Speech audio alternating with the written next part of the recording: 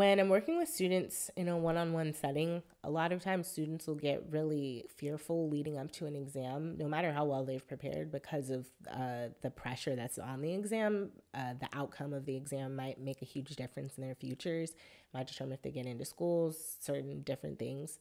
And I can't be with students when they're taking their exams. I can only give them tips and tools and help them come up with their own strategies and their own coping mechanisms to deal with their stress when they're going through the exam. But I can also share my experiences of how I've overcome my own fears, my own stress when I'm going through exams that have a lot of pressure on them and how I've been able to rise to the occasion. And so I wanted to share some of those in this video.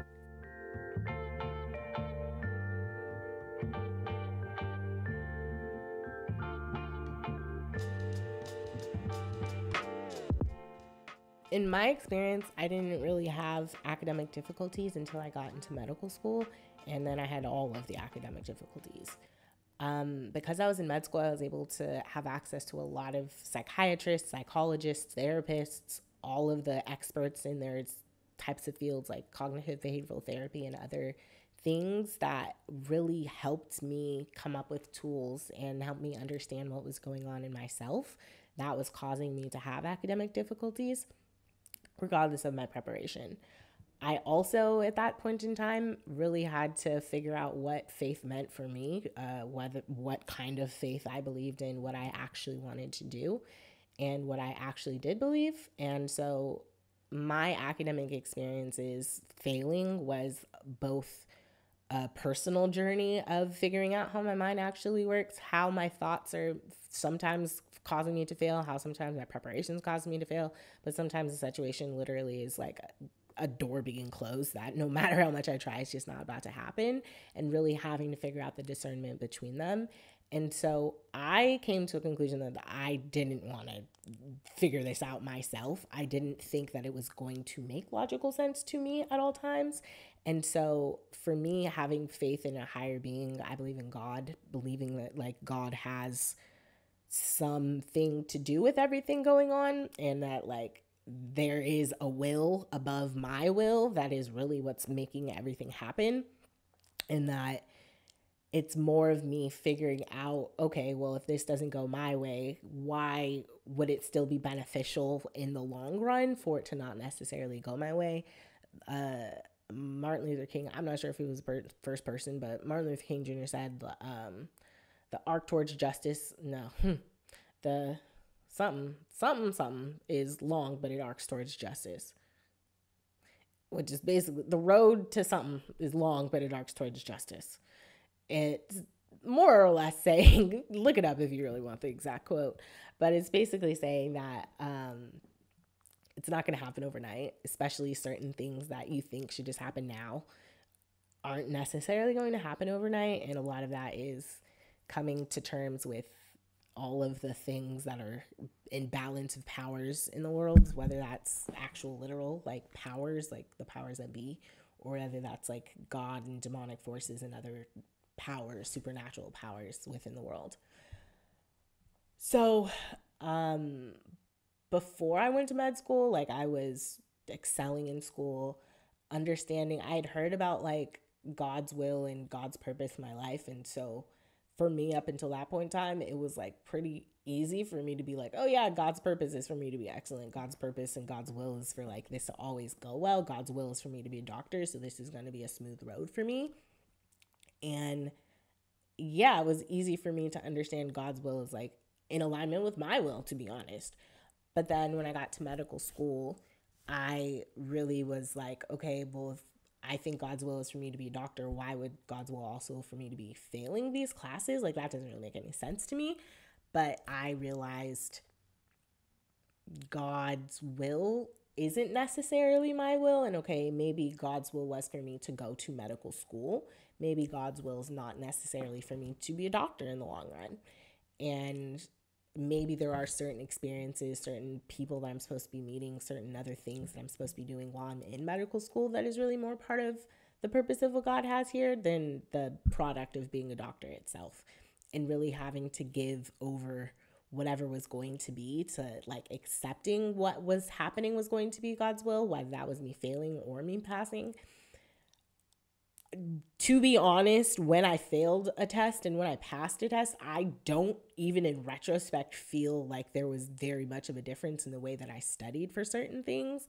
I think it was a lot more just my mindset being able to overcome in certain circumstances where like if I felt like the teacher believed in me and the teacher thought I was going to do well, I tended to do better than if the teacher I I already felt like well, they don't think I'm about to do well here. They're a really bad teacher in the way that I learned. So this is just not a setup for me to do well. And so I would have to do so much more. But I recognize like that frustration behind all of that was really what led me to that, like be second guessing myself when I was having multiple choice questions. And so I had to learn a lot of lessons of like how to manage my thoughts, even when I felt like everyone was against me, even when I felt like, okay, well, nobody believes this is gonna happen, but like I believe this is gonna happen. I had one test where I was about to be like dismissed from med school, and I had two days to retake the exam and start the next year, or I was gonna have to take a year off of school. And I was like, I'm not taking a year off of school. I'm taking this exam. I don't feel it's for me to be taking a year off of school right now. And I took the exam and literally got the exact percentage you needed to pass. And I, that was God. Like, no questions. I know those are moments that have really affirmed for me. Like, this is, God wants me to be here. Like, this is not me deciding this on my own. There's absolutely something going on behind the scenes that's working in my favor. But there's also acknowledging that like I had gotten to the point where I was about to be dismissed from med school for things that were like not working in my favor. And okay, well if God was there, how's God here? Like that balance is very difficult. Now I have a much better understanding of what God's will is, mostly because I'm able to have peace regardless of what I want to happen, that what will happen is going to happen anyways. And I have my peace comes more when I'm able to accept what is happening as what should be happening and not fight it, but just go with it. Not necessarily like go with the flow and just like don't fight anything, but like for example, when a presidential election is happening and a winner is elected, not fighting the result of the election, whether that's in my favor or against my favor, just going with what happened and acknowledging that I have other ways in which I can do things. I don't have to fight this one specific thing. I also recognize that God's will is greater than my performance. God's will is like, it goes beyond whether I'm doing well or not doing well. It really has nothing to do with how I'm performing and having to redefine, like, my identity is in who God created me to be, not in my who like the world thinks I'm supposed to be and really being affirmed that like okay the world wants me to be doing this but I like really feel in deep that this is what I'm supposed to be doing. And so, yeah, it seems like a challenge. It seems more difficult, but like, I this is what I'm supposed to be doing, and really just standing affirmed in that, even when it gets difficult or you feel like you're standing alone.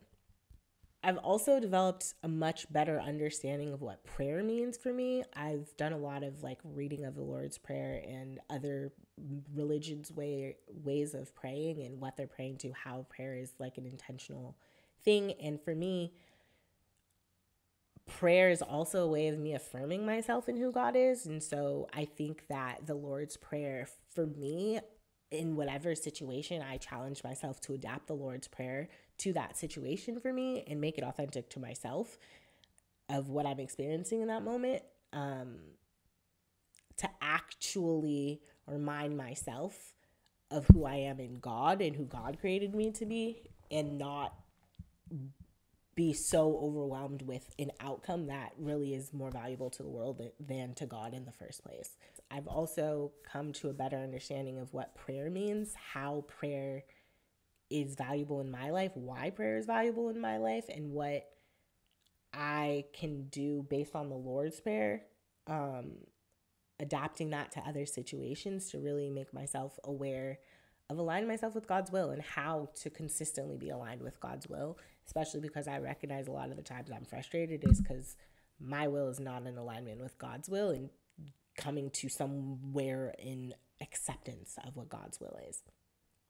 So the prayer starts Dear God, who's in heaven, watching all of this nonsense that's going on, help me remember everything you are.